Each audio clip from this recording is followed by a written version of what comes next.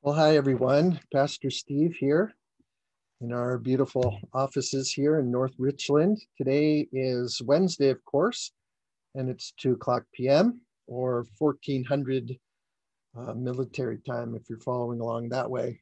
This is Richland Lutheran Church Family Chat, and glad you're here with us. And Amanda should be joining me here shortly. Um, I think she was out at lunch and trying to navigate um, four kids' haircuts. So you know how that could have gone. anyway, today I would like to reflect a little bit on the transparency of Christian leaders. You know, it's heavy on many of our hearts as Christian leaders to have read about uh, apologist Ravi Zacharias and his fall. He's, of course, deceased, but after his death, it came out that Ravi had been inappropriate in his relationship with women, uh, sometimes very uh, difficult and maybe even uh, abusive in his work relationships. And this all from a man in the church, a, a trusted spiritual and Christian leader. My question is Would transparency, vulnerability in him with the body of Christ have helped mitigate his desires to go into those places? So, hi, Amanda. I was just talking hi. about uh, Ravi, Ravi Zacharias and his fall from grace and into abusive relationships and inappropriate relationships and was wondering really asking the question whether or not appropriate transparency as a Christian leader and vulnerability with the body of Christ would have helped mitigate some of those mm. some of those sins. Yeah. Here's the problem, you know, in seminary and traditionally pastors have been trained to not be transparent. That's so true. To not be vulnerable with the congregation, to stand apart. In fact, even the word ordination means to set set apart for a particular work. But I question, especially if you if you know, as we see more Christian leaders falling into these kinds of uh, public sins and, and disgraces, shameful situations, if transparency and vulnerability with the body of Christ really isn't the answer, or at least part of mm. the answer to this. So, yeah. how the haircuts go? Let's before I get uh, we move on. you're because you're trying to navigate four haircuts or something like that. Yep, know. yep. Got four haircuts done. So that's the kids are looking a lot better now. I'm so grateful to we see Diana Benjamin um, in the congregation for all of our hair stuff, and so it's the kids were very excited to. I think it was their first one. It's easy to lose track and be like, oh, yeah, we're not really going out in public a ton. And so then when I do, I'm like, oh, yeah, these kids are looking a little rough. oh, Diana has cut my hair twice during the pandemic. Um, yeah. Last time I saw her was last month, and it had been four, almost five months since my previous haircut. I maybe yeah. it's because people allow for it. I don't know. Maybe yeah, just afraid. But she does a great yeah. job. She does. I'd like to read then a reflection on Christian leadership. Uh, mm. That's hmm. the subtitle of Henri Nouwen's book, in the name of Jesus. And he talks about the Christian leaders, the pastors, in his context as a Catholic priest. I just forget he was Catholic. He was Catholic. Yeah. Um, and so he he writes, how can priests or ministers feel really loved and cared for when they have to hide their own sins and failings from the people to whom they minister mm. and run off to a distant stranger to receive a little comfort and consolation. How can people truly care for their shepherds? And here's the important piece maybe keep them faithful to their sacred task when they do not know them and so cannot deeply love them. He says, I am not all uh, at all surprised that so many ministers and priests suffer immensely from deep emotional loneliness, mm. frequently feel a great need for affection and intimacy, and sometimes experience a deep seated guilt and shame in front of their own people. Often they seem to say, What if my people knew how I really feel, what I think and daydream about, and where my mind wanders when I'm sitting by myself in my study? It is precisely the men and women who are dedicated to spiritual leadership who are easily subject to very raw carnality. Isn't that what we're talking about? Yeah. The reason for this is that they do not know how to live the truth of the incarnation. And the incarnation is Jesus stepping into flesh. Mm-hmm, mm-hmm. separate mm-hmm. themselves from their own concrete community, try to deal with their needs by ignoring them or satisfying them in distant or anonymous places, and then experience an increasing split between their own most private inner world and the good news they announce. When spirituality becomes spiritualization, life in the body becomes carnality. When ministers and priests live their ministry mostly in their heads and relate to the gospel as a set of vulnerable or valuable ideas to be announced, the body quickly takes revenge by screaming loudly for affection and intimacy. Here's his mm-hmm. conclusion. Mm-hmm. Christian leaders are called to live the incarnation, that is, to live in the body, not only in their own bodies, but also in the corporate body of the community and discovered there the presence of the Holy Spirit. I wonder if Ravi Zacharias and other Christian leaders who have fallen so publicly would not have benefited by transparency and vulnerability. Yeah. Yeah.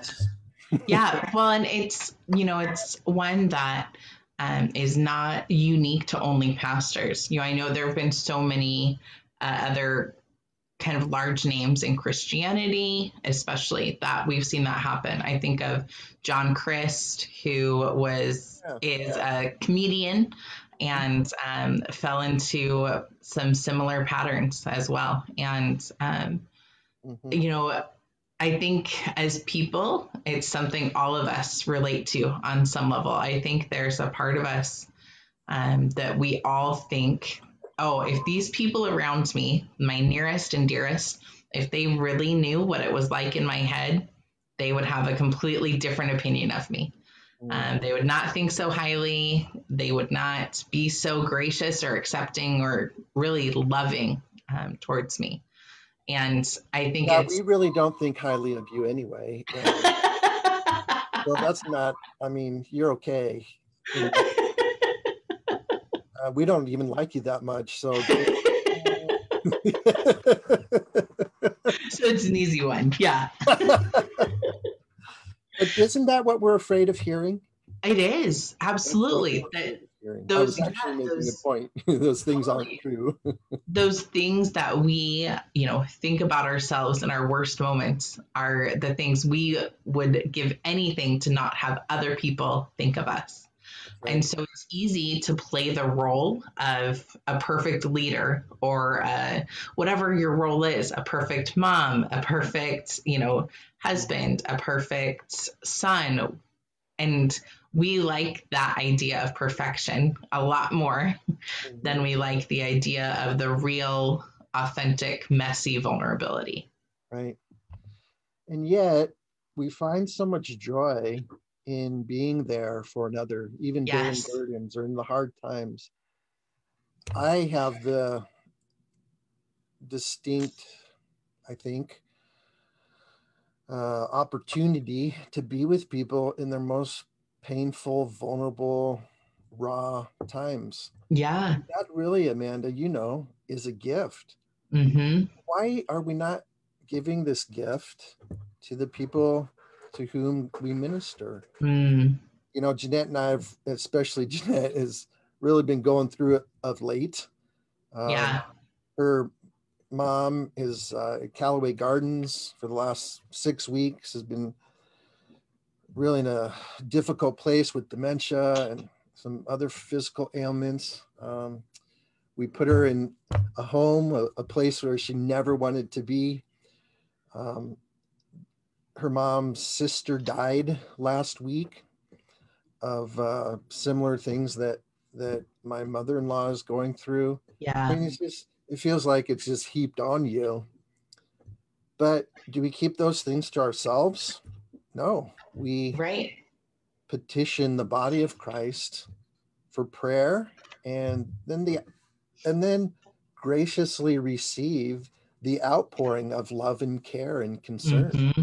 Yeah. So Jeanette and I both have gotten cards and emails and texts and phone calls. And that's such a gift to be able to receive from the body of Christ. This is incarnational yeah. ministry. Yes. And I think that the church at large is learning how to do authentic relationships um, more and more.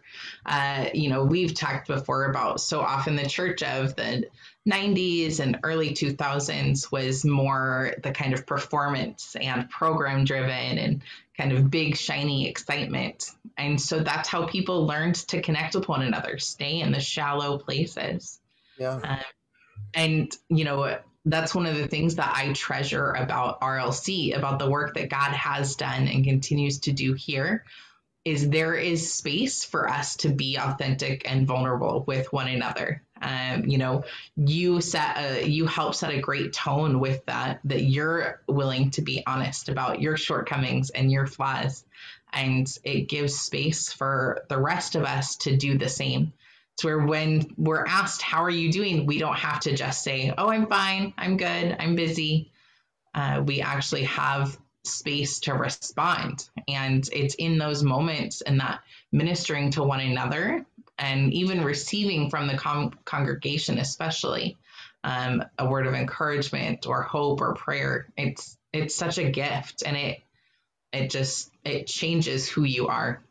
Yeah, you know, some would say the deepest desire of the human person is to uh, find their calling or their work or what they're supposed to do. I would argue against that and say, no, I think the deepest desire of the human person is to be known. Yes, agreed. So, you know, this is really the space that we all operate within. Even society understands. I mean, you hear people saying things like, we see you, yeah, we hear you, um, we know you.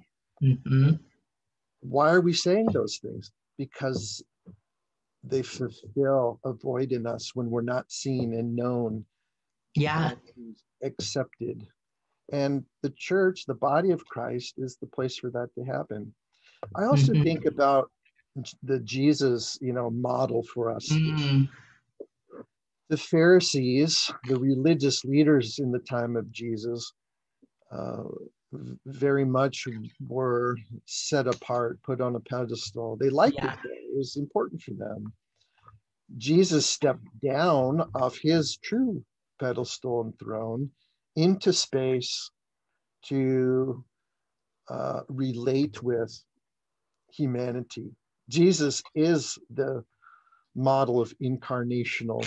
Yes. He is the incarnation. And, you know, we see then Jesus frustrated with the disciples. He, he was okay saying, I'll paraphrase, what kind of crazy thinking is that? yeah. Uh, Peter, you're, you're not even thinking on the things of God. You're thinking of, of the things of Satan. Uh, he turned tables. I mean, mm. this is this is a Jesus that was transparent, vulnerable. I'm mad now and I don't care who sees it. Yeah. This was a Jesus in the garden that wept only a stone's throw uh, away from the disciples who would have easily seen him. Mm-hmm, mm-hmm. He went to them and said, "Pray for me. I'm I'm Yeah. grieved. I'm grieved in my spirit. I'm grieved to the point of sweat becoming blood." If Jesus could be vulnerable and transparent, if God was vulnerable and transparent, shouldn't we at least give it a whirl? Mm, yeah. Yeah. Well, Heather Colburn has a great point too. She said, not just to be known, but to feel like we belong. yeah, belonging. Yeah, that's a it's because if we are so busy putting on a face or um, you know, not really letting people in to our lives or into what what we're really thinking or what we're really like, then we also don't get to experience true acceptance because they don't actually know us. They know the image we're trying to portray. And I think that that's Yeah. such such a valid point that we want to belong. and be accepted. That's part of belonging. Mhm. No, Yeah. to, to be accepted and to belong. hmm You know, our our motto, if you if we have a motto at RLC, is doing life together. Yeah. And that means at every level and in every situation, the good and the bad and the ugly. And you know, Lent is really one of those times Mm, we have the opportunity to be transparent, to be vulnerable uh, in an incarnational way with, that is Yeah. in the body of Christ. I've really been enjoying our Lenten services that are looking at lament mhm. both individually and interesting, interestingly enough, corporately, where the whole body of, of God comes together and says, Yeah. we are in hurt, we are in pain, we, we have been uh, wronged, we are uh, broken. That's an important part of our faith. It is.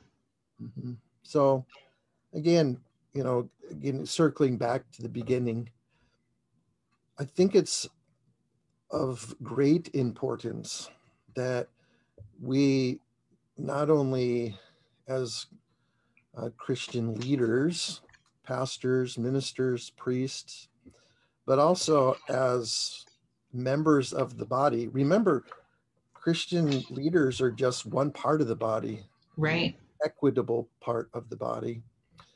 Um, uh, and so each one be vulnerable in that space with Mm. one another. Go to the deep places.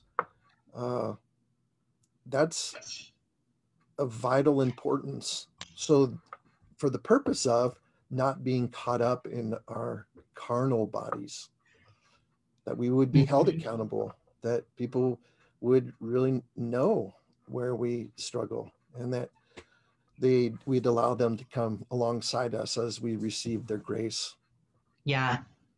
I love that. And I think that it's that vulnerability um, and that willingness to be honest with ourselves and with others that helps us to combat the shame um, that comes from being caught up in something, um, sinful choices, or whatever it is. And when instead we choose to, against our instincts, say, No, I'm going to go to those deep places, knowing that it may be painful, knowing that it's also worth it.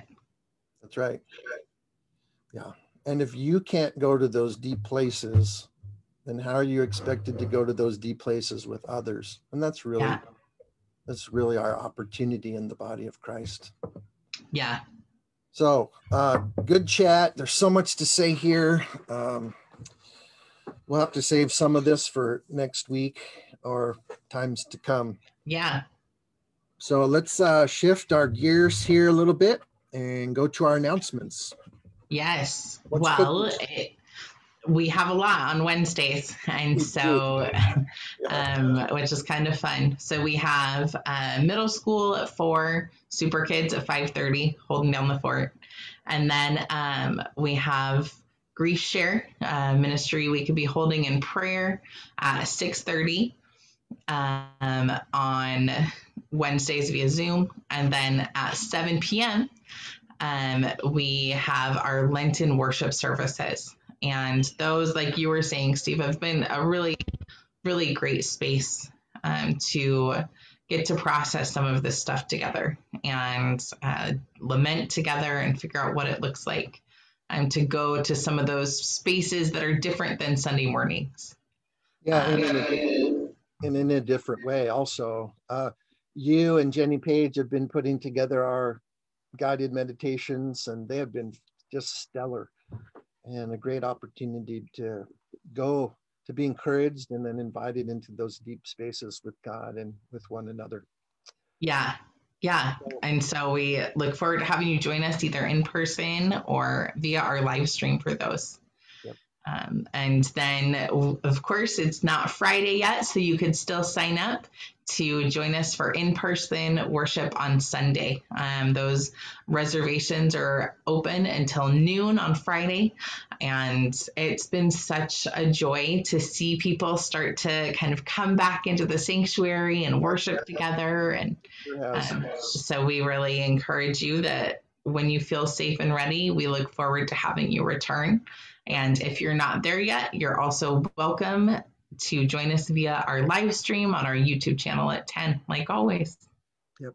So I, as far as we know, um, our in-person worship has not um, been the cause of any cases of COVID transmission. So mm-hmm. knock on wood.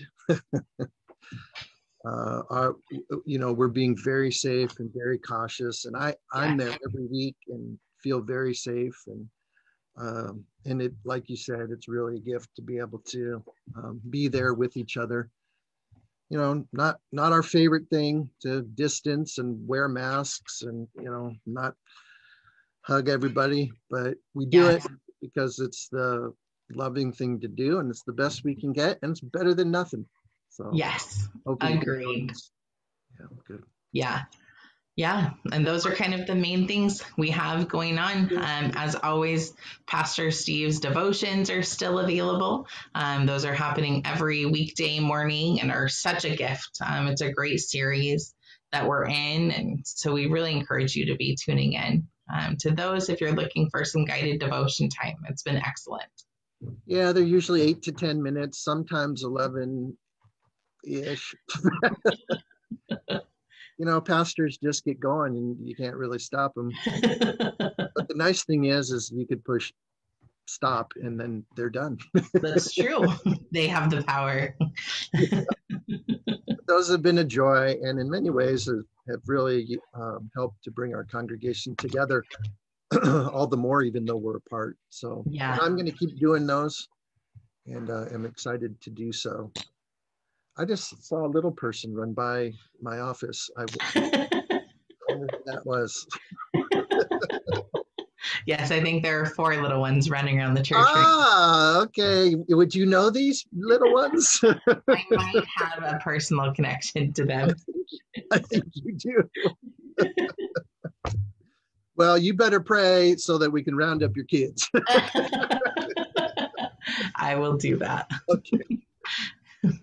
Dear God, we thank you for the way that you invite us um, into life that looks different, into not what the world offers, um, where we have the plastic, we're all okay, it's all wonderful facade, but that you have modeled for us and invite us into vulnerability and authenticity and accountability and so, God, we pray for the boldness and the courage to go to those places with one another, to be honest about our shortcomings, our struggles, that we may learn from one another, learn from you, and be healed.